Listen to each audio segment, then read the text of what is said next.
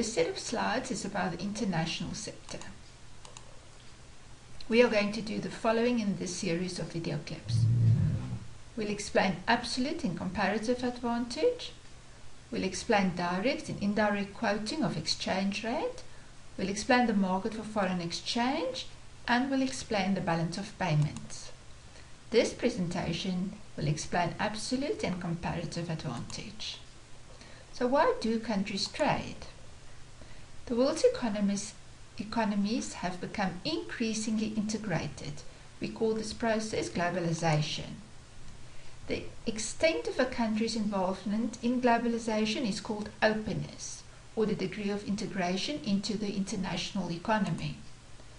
The South African economy is described as an open economy, which means that it's very integrated into the international economy it is dependent on other countries. A country is self sufficient if it makes everything it consumes within the borders of that country. But Adam Smith said it is better to specialize in a couple of goods and services and trade with other countries because countries have different resources. Factors of production are not equally distributed amongst countries. For example, South Africa has a lot of gold and platinum. In other words, natural resources, but not a lot of computer factories. Therefore, South Africa specializes in mining gold and platinum, exporting the surplus and then importing computers or capital from America and Japan.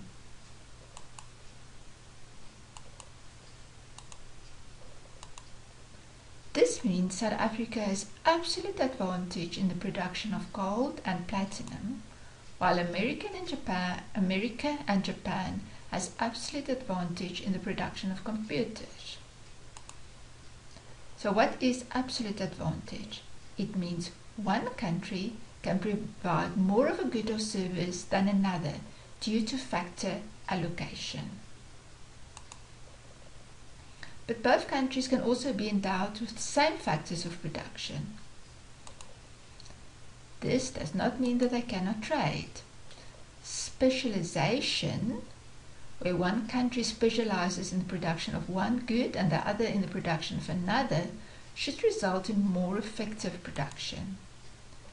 A country will specialize in the production of the goods and services for which it has comparative advantage.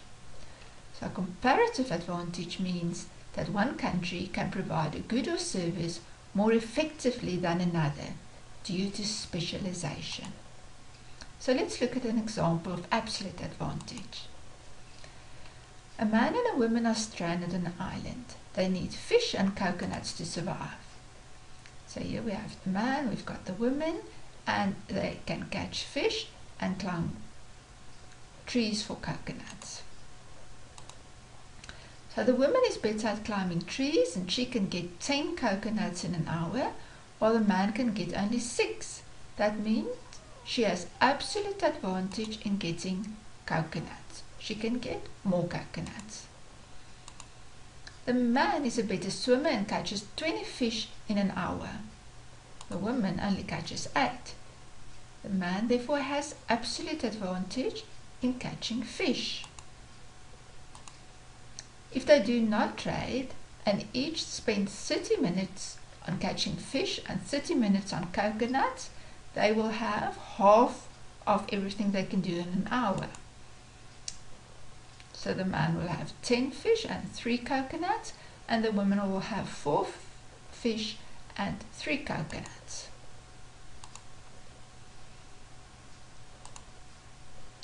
So let's write in the corner how much they will have if they do not trade and spend half an hour catching fish and half an hour climbing trees for coconuts. So we've put these figures there in the corners. If they each specialize and the man only fish and the woman only picks coconuts, they will have the following after an hour. The man will have caught 20 fish and the women would have collected 10 coconuts. If they now trade,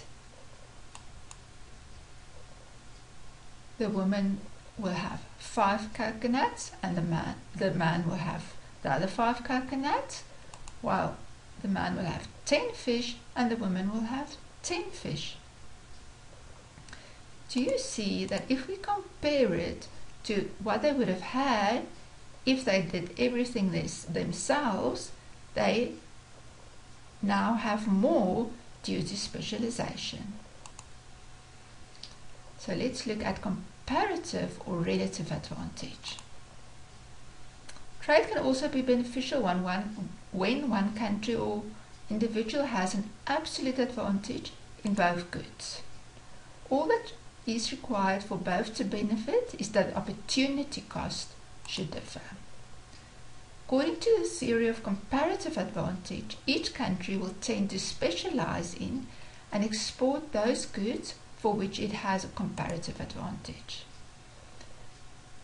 If both countries or persons have the same opportunity cost for the same quantities of the same goods, there's an equal advantage and then there's no basis for trade. Let's look at our example again.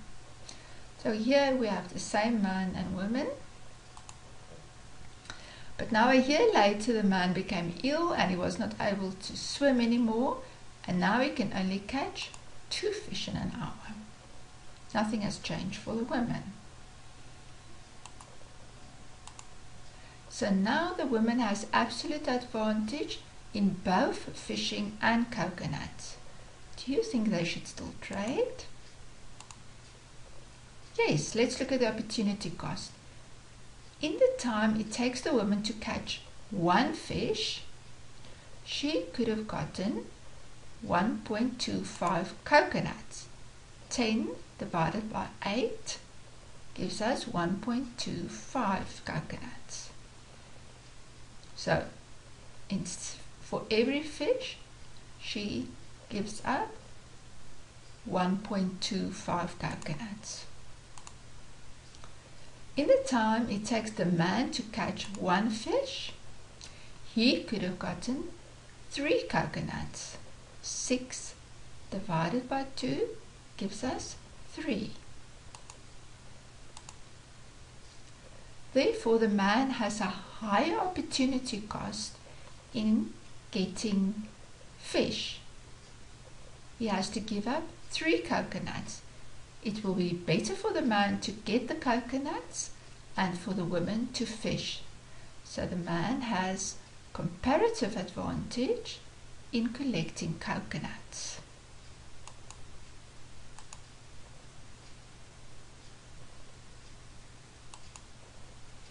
So in this presentation, we explained why countries trade, we explained the absolute advantage, and we explained relative advantage.